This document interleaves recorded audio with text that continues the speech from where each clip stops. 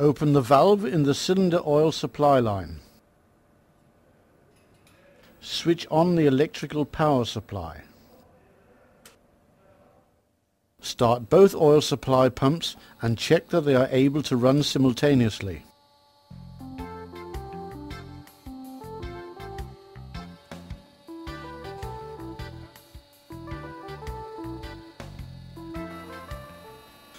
Check that the pressure drop indicator for the pressure filter is green.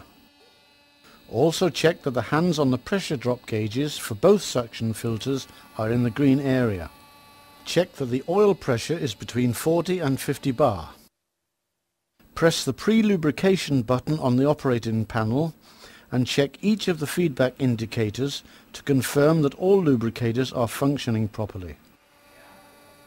Set both pumps to remote control.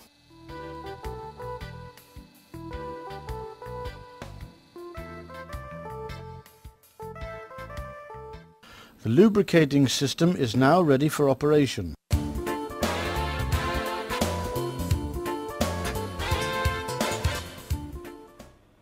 When the auxiliary blowers are started up, the lubricating system will automatically start and carry out the pre-lubrication process.